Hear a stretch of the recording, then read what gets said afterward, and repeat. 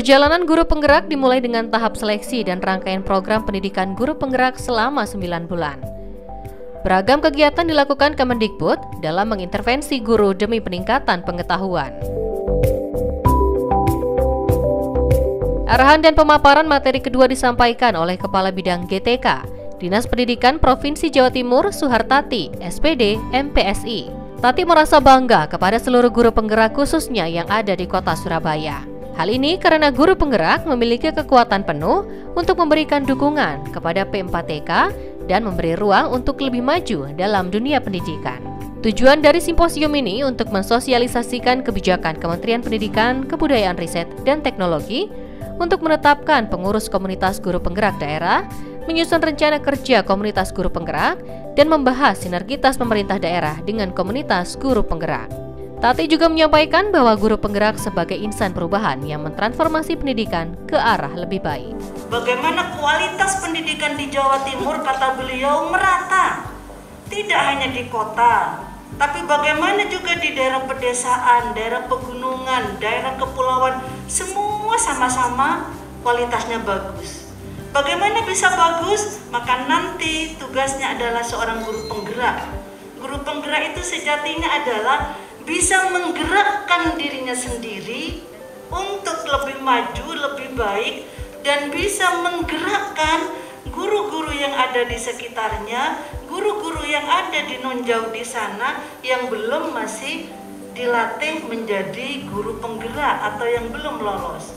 Kalau penjenengan belum bisa menggerakkan semua komunitas guru yang ada, utamanya di Jawa Timur, maka gerakan panjenengan belum melesat. Nah, apalagi Kepala Dinas Pendidikan Provinsi Jawa Timur sangat apresiasi sekali kepada guru penggerak.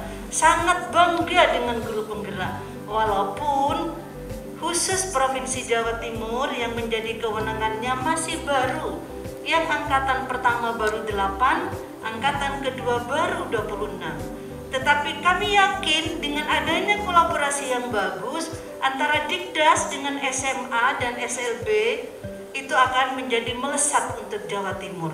Maka kami dari Dinas Pendidikan Provinsi Jawa Timur sebetulnya sudah terbangun sinergisitas antara guru penggerak dengan Pemprov yang sudah dilakukan oleh kami oleh Dinas Pendidikan Provinsi Jawa Timur yang pertama sinergisitas yang sudah kita bangun kami ikut membantu mendiseminasikan terkait dengan sosialisasi guru penggerak bagaimana memotivasi guru-guru kita untuk selalu ikut seleksi guru penggerak di angkatan-angkatan selanjutnya. Ini terbukti ternyata dari hasil catatan kami itu tambah banyak yang ikut walaupun yang lolos masih memang sesuai dengan kriteria yang sangat ketat. Tidak apa-apa yang penting keinginan dulu untuk mereka ikut itu salah satu bukti bahwa beliau atau mereka itu ingin maju bersama-sama.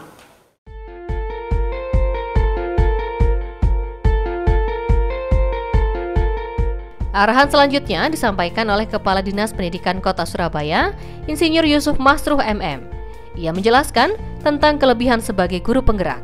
Ialah mampu memberikan suatu perubahan dinamika belajar pada siswa dengan membuat metode pembelajaran yang sifatnya menyenangkan dan berpusat kepada siswa atau dalam era sekarang adalah merdeka belajar.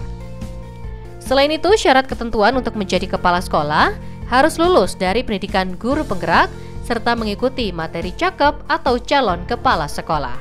Visi dari guru penggerak adalah mewujudkan anak Indonesia yang memiliki profil pelajar Pancasila. Demi mencapai visi tersebut, tentunya guru harus memiliki nilai yang melekat dalam dirinya.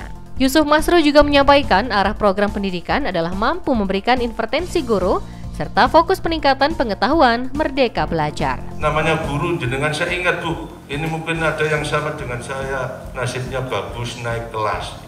Dulu namanya guru bantu, sekarang naik kelas menjadi guru penggerak. Lalu sama aja. Ini udah-udah itu, saya ingat betul dulu ada guru bantu, ada ya teman-teman yang guru bantu sini. Nah ini, ini kan naik kelas jadi guru peng gerak. Ini Pak, Bu, harapan kami nanti Bapak Sarmati satu, saya mohon bantuan. Tadi saya bilang sama Pak Kapus, Pak kelebihan guru penggerak itu apa? Kalau teknis kan tadi sudah sampaikan beliau berdua. Satu memang harapannya apa? Nanti kita sebagai inovasi sebagai teladan sebagai uh, aktif kreativitas yang memang harapan kita memang nanti sama dengan beliau-beliau. Tidak hanya untuk diri kita sendiri tapi untuk teman-teman kita untuk anak-anak kita. Bapak saya hormati ini pas timingnya pas. Saya diberi anak yang baru pas PTM juga Anak-anak di PTF ini Bapak bisa hormati, nampaknya saya keliling memang sudah lepas atau kurang yang namanya teladan. Teladan di saat daring teladannya mungkin bukan figur-figur jenengan, tapi bisa juga figur-figur dari yang lainnya. Kemarin saya guyonkan jenengan semua harapan kami nanti Bu teladan ini bisa untuk diri kita maupun anak-anak didik kita semua. Yang berikutnya Pak, Bu, saya juga menyampaikan, saya terima kasih banyak. Selain itu, jenengan punya kesempatan untuk menjadi pengelola atau apa ini ya, kepala sekolah di di satuan pendidikan jenengan semua. Harapan kami Pak, Bu, ya memang yang amanah amanah itu apa? Bersyukur. Yang intinya apa? Tidak nanti WA Pak Roni. Lupa aku habis lulus penggerak. Ini kan repot Paham ya Bu? Jadi kalau semua nanti ya menunggu memang waktunya. Izin Pak, Bu. Soalnya takut saya, kalau teman-teman nanti ini nggak saya sampaikan, saya yakin. Yang ngono. Lupa ini kan saya sudah lulus penggerak. Kenapa saya kok nggak dirubah-rubah jadi kepala sekolah? Ya repot malah ini. Semua itu Pak Bu pengalaman. Mungkin beliau-beliau pengalamannya lebih. Semua memang sarana kita harus dilengkapi dulu setelah itu kita kembali doa seperti yang saya sampaikan tadi malam. Doa itu 80% 20 persennya ikhtiar. Kan itu aja. Saya takut saya bu ini kalau tidak saya sampaikan Pak Roni nanti dari rumah ke WA Pak urutanku nomor piro? Lah repot nanti